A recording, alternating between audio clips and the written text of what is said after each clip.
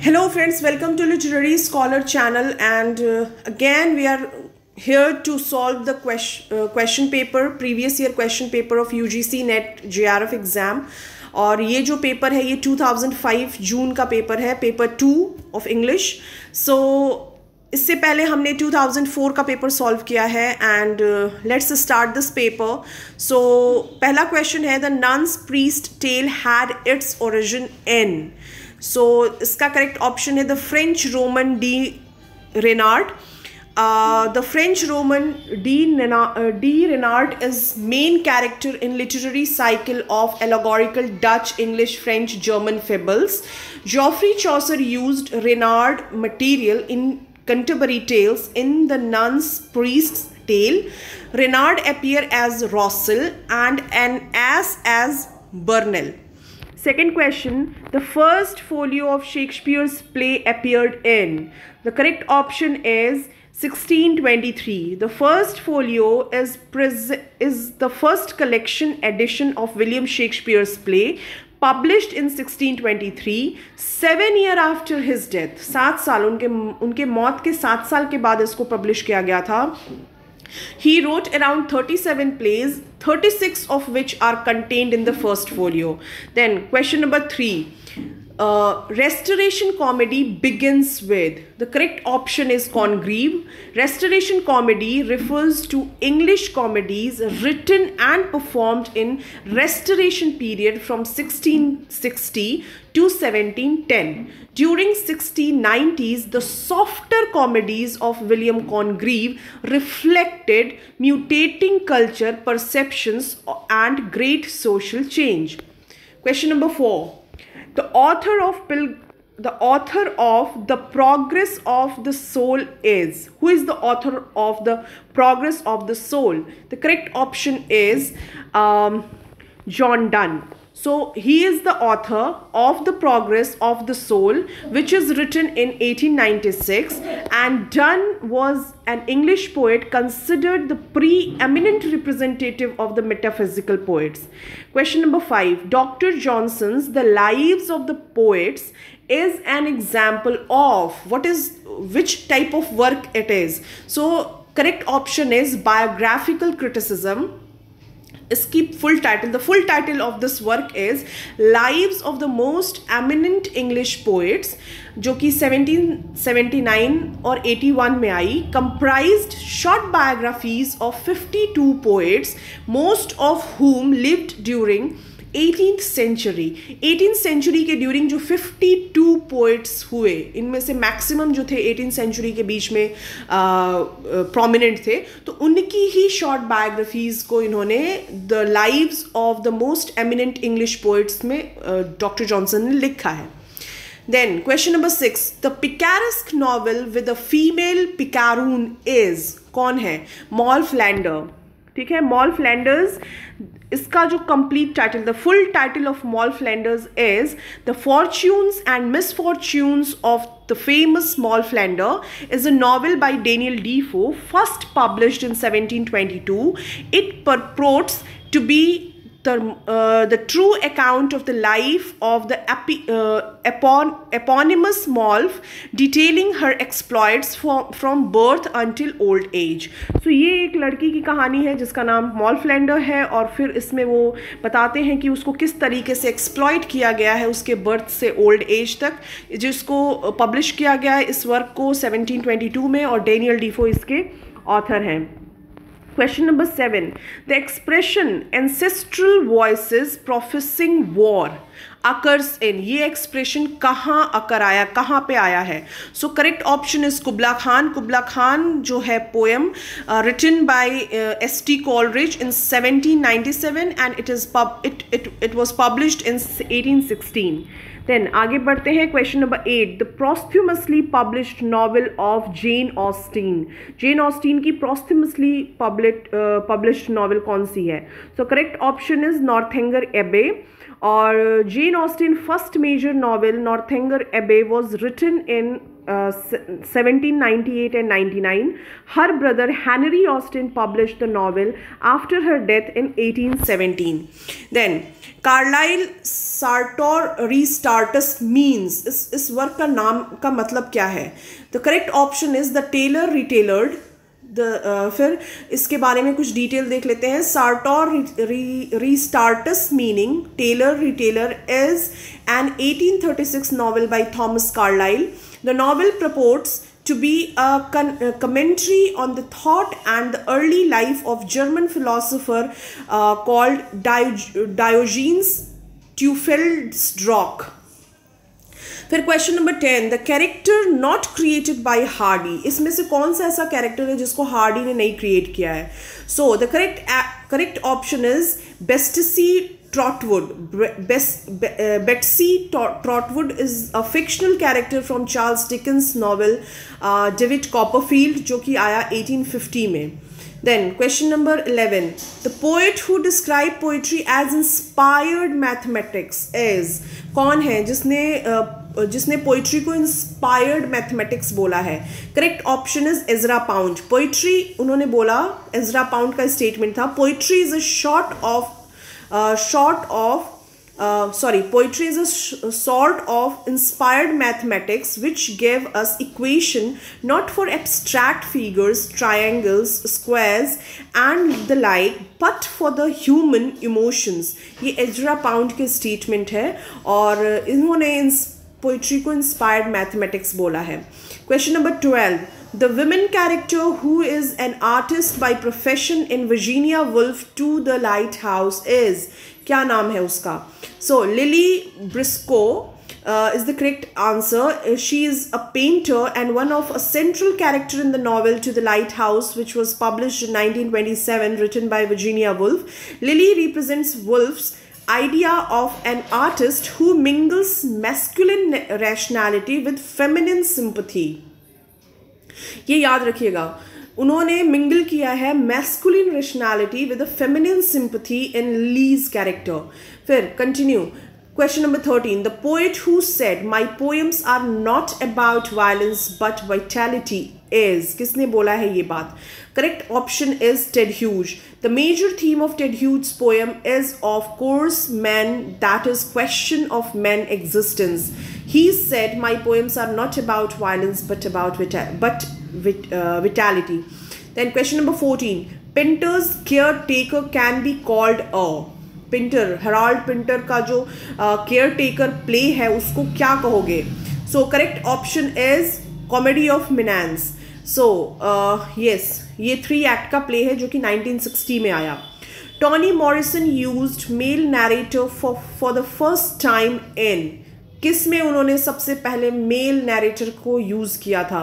Correct option is Song of Solomon 1977 में आया the first novel to be written through a male protagonist view it tell us how it is like to be young black male living in a white male dominant society through through the story of Macon milkman Macon a milkman then question number 16 the author of a hungry tide is किसने hungry tide लिखा है अमिताभ घोष ने लिखा है 2004 में ये novel आई और इसको crosswood book award for fiction भी दिया गया है then question number 17 the soul of tragedy according to aristotle is plot according to aristotle tragedy has six main element कौन कौन से plot character diction thought spectacle and song aristotle also write the plot then is the first principle and if it were the soul of a tragedy so soul of a tragedy aristotle ने plot को बोला है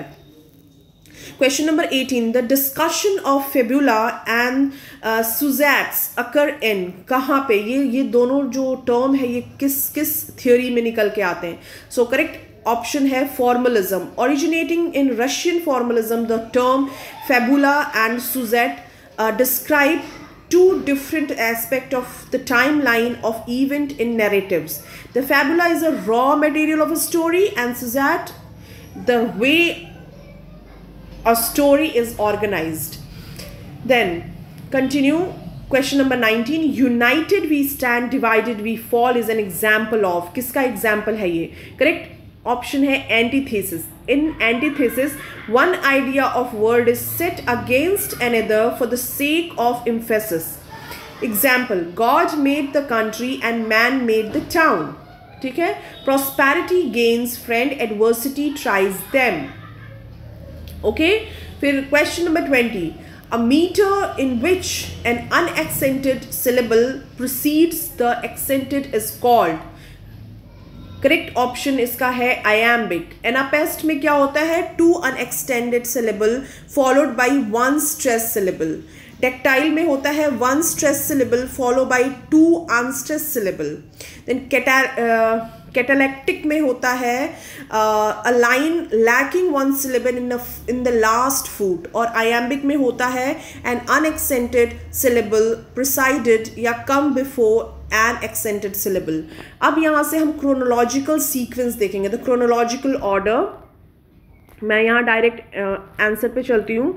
The correct chronological sequence is Sense and Sensibility I 1811 में pride and Prejudice 1833 मेंस Mansfield Park 1814 and Northanger Abbey 1817 then, again correct chronological sequence है ए AC Bradley, Shakespearean Tragedy 1904 T.S. Eliot Hamlet and His Problem 1919 Carolyn Spurgeon uh, Shakespeare's Imagery 1935 Stephen uh, Greenblatt on Poetics of Culture and the Interpretation of Shakespeare 1987 then again a chronological sequence Oxford movement 1833 से 1845 pre-Raphaelite Brotherhood 1848 Imaginism 18 uh, sorry 1912 and movement poetry 1954 question number 24 is also a chronological sequence and that is the correct chronological sequence is closet drama late 18th century epic theater 1924-27 theater of episode 1942 portable theatre late 1960 and 70s then again question number 25 is also a chronological sequence. So correct chronological sequence is thomas kidd 1558 say 1594 christopher marlowe 1564 say 1593 Thomas Nash 1567 से 1601 Ben Jonson 1572 uh, से 1637 this is the birth date birth here and his uh, and their death here so yes this is the correct chronology. Uh, thomas kidd christopher marlowe thomas nash and then ben jonson. Then again 26 question is also a chronological sequence. So see the correct chronological sequence in it. Uh, Aeropagtitia 1644 by John Milton, Urn Burial 1658 by Sir Thomas Brown, Religio, Religio Medici 1643 again by Thomas Brown, Essay on Dramatic Poesy 1668 John Dryden. 27 question question number 27 is also a chronological question so the correct chronological sequence in this question is Toru Dutt 1856 to 1877 Sarojini Naidu 1879 से 1949 Kamla Das 1934 to 2009 Meena Alexander 1951 से अब तक then uh, 28 it is also the chronological sequence question so इसमें correct chronological sequences Miss Havisham ये जो character है miss heavy sham का जो कैरेक्टर है, ये कैरेक्टर ग्रेट एक्सपेक्टेशन का कैरेक्टर है, और Great Expectation novel is written by Charles Dickens so this is the question of character and work okay so Dorothea George Eliot का Middlemarch का जो वर्क है जॉर्ज इलियट का जो Middlemarch novel है उसका ये उसकी ये कैरेक्टर है डॉर्थिया और ये जो वर्क है ये 1871-72 में पब्लिश हुआ जूड ये थॉमस हार्डी की जूड द ऑब्सक्योर से लिया गया है 1895 में पब्लिश हुआ Mrs Morel D H Lawrence novel Sons and Lover 1913. Then 29th question is also a chronological sequence question. Then uh, see the correct sequence. The well-wrought urn studies the structure of poetry is a 1947 collection of essay by Clint Brook. The verbal icon study in the meaning of poetry published in 1954 by William K. Wimsett. Theory of Literature is a book on literary scholarship by Rain Vlack, uh, Welk, Welk published in 1948 literary theory and introduction by terry gilton and published in 1983 so this is the work and the correct chronological order is the well-wrought urn, the verbal icon, theory of literature, and then literary theory and introduction. Then question number 30 is also a chronological sequence of Nobel Prize winner. So, correct chronological sequence is W.B. Yeats 1923 में इनको Nobel prize मिला T S Eliot 1948 में इनको Nobel prize मिला नडीन गॉर्डेमर 1991 में इनको Nobel prize मिला and Seamus Heaney 1995 में इनको नोबेल प्राइज मिला है अब from question number 31 to 40 is the matching pair question match the column match वाला क्वेश्चन uh, है. सो uh, so, हम करेक्ट पेयर देखेंगे. इसमें जो करेक्ट पेयर मैच है वो है option number B the Diverting History of John Gilpin William Cowper ने इसको लिखा है 1782 में। और जो पहला वाला है आइडल्स ऑफ़ द किंग ये एल्फ्रिड का है एल्फ्रिड लॉर्ड टेनिसन का वर्क है।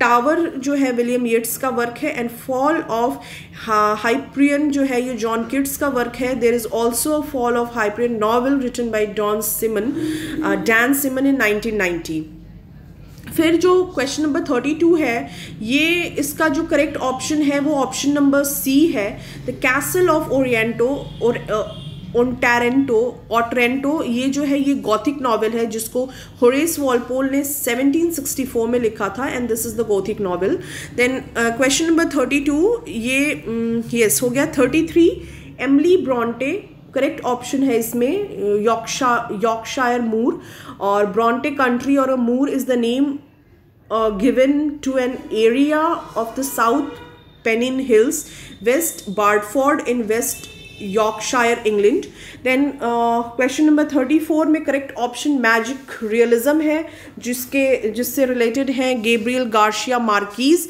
it is often said that the work of a Colombian novelist Gabriel Garcia Marquez are examples of magic realism fiction that integrates element of fantasy into otherwise realistic setting then question number thirty five का correct option है Stanley Fish जिसका कि correct option इसका जो correct match है वो है एफेशिया he is an American literary critic associated by reader response criticism so Stanley Fish is is associated with reader response criticism फिर क्वेश्चन नंबर थर्टी सिक्स का जो करेक्ट पेयर है वो है C A D Hope Australia and rest is given here A D Hope Hope जो है Australia से related है.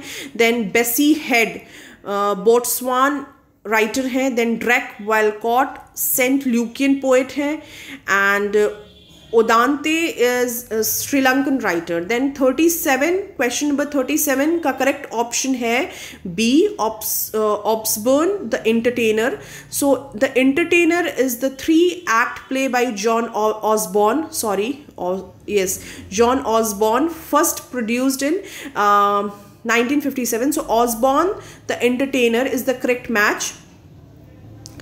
फिर थर्टी uh, एट का जो करेक्ट ऑप्शन है वो है A that is periodical essay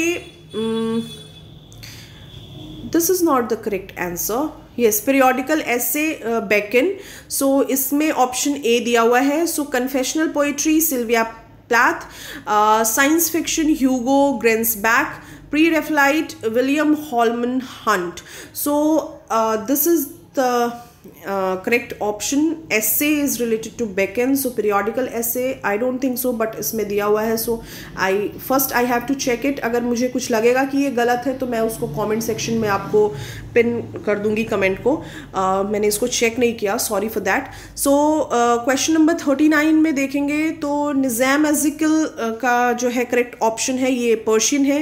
And yes Nissim Ezekiel nineteen 24 से 2004 के बीच में इनका लाइफ स्पैन रहा है. He was an Indian Jewish poet he was an foundational figure of the coast post colonial Indian literary history specifically for Indian writer फिर question number 40 को अगर हम देखें तो इसका जो करेक्ट ऑप्शन है वो है A that is pole Scarlet Letter जो कि 1850 में आया था, और इसके जो ऑथर हैं, वो है Nathaniel Hawthorne and Pearl is the symbol of sin and adultery अब क्वेश्चन नंबर 41 की बात करें तो उसमें दिया है कि हु सेड या who asserted we we had a very restful holiday और ये इम्प्लाइज करता है what we did not extract our self so so, इस तरीके के क्वेश्चन हैं. देन 42 की अगर हम बात करें the progress of an artist is an is a continual self sacrifice continual extinction of personality this assertions implies what this assertion implies or the correct जो है वो है artist is likely to make a progress through a continual self sacrifice and extinction of a personality uh, same question same question को ही इसमें repeat किया हुआ है so I think it is easy to draw the answer फिर question number thirteen की अगर हम बात करें तो इसमें फिर एजर्शन एम्प्लाइज पूछ रहा है मतलब एजर्शन दिया हुआ है, फिर आपसे पूछ रहा है कि what it implies the best poetry will be found to have a power of forming sustaining and delighting us और दिस असर्शन इम्प्लाइज वॉट ये करता है poetry has multiple function to perform so yes question number forty four human beginning and specially human sorry human beings and especially human beings as an integral part of a social organization are regarded as primary subject matter of literature this assertion implies what ये assertion implies करता है humans as social being are the nucleus of all literary exercises so so human being uh, is uh, central of every literary exercises. This implies then question number 45 again assertion question. We must learn to see more to hear more to feel more. This this this statement yeah this assertion implies what? A sharpening of three faculties mentioned would help human being to become better. What is that? Learning hearing and feeling okay and now from 46 to 50 ये जो है, ये पूरा एक passage दिया हुआ है और you have to draw the correct answer in of the question in the regard of this only only this passage so ये पूरा पैसेज है और इसमें ये सारे क्वेश्चंस हैं। You have to see the question और ये पूरा पूरा इसका पैसेज है।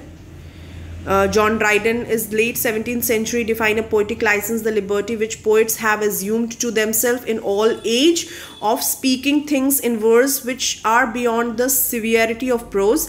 In its most in its most common use, the term is confined to diction alone to justify the poet's departure from the rules and conventions of standard spoken and written prose in matters such as syntax, word order, the use of archaic or newly coined words, and conventional use of uh, I rhymes. The degree um, and kind of linguistic freedom assumed by poet have varied according to convention of each age.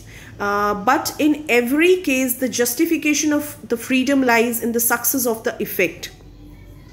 In broader sense, poetic license is applied not only to language but all the way in which poet and other literary author are held to be free to violate. For spatial effect, the ordinary norm and only of common discourse but also but also of literal and historical truth include the device of meter and rhyme, the recourse to literary convention and representation of fictional character and event. So ye passage hai and the question is poetic license means what? Liberty with diction and norm of a common discourse is the correct answer. Then linguistic freedom is what? ये passage से ही आपको answer निकालने होते हैं so so, इसका correct option है freedom with diction newly coined word syntax then question number 48 how do you justify linguistic freedom taken the linguistic freedom taken iska correct option hai on the basis of the success of the effect and 49 question at diction means syntax the word order and 50 poetic license applies to all literary author so this is all about question regard ये जो पूरा है this is all about the question of 2005 UGC NET and JRF exam paper two और all 50 question we are currently we are discussing here so इसके अलावा अगर आपको लगता है कि कोई और ऑप्शन मतलब कुछ इसमें डाउट रह गया है तो प्लीज़ आप मुझे कमेंट सेक्शन में लिख के ज़रूर बताएँ। और इसी तरीके से मैं कोशिश करूँगी कि यूजीसी नेट तक नेट के एग्ज़ाम से पहले आपको एटलीस्ट मैं टेन ईयर पेपर करा दूँ so that will be good for you people if you are going to give the examination so इसी के साथ ये वीडियो यहीं ख़त्म करते हैं और नेक्स्ट वीडियो तक आप अपना ख्याल रखिए, अपनी फैमिली का ख्याल रखिए stay blessed and thank you for watching this video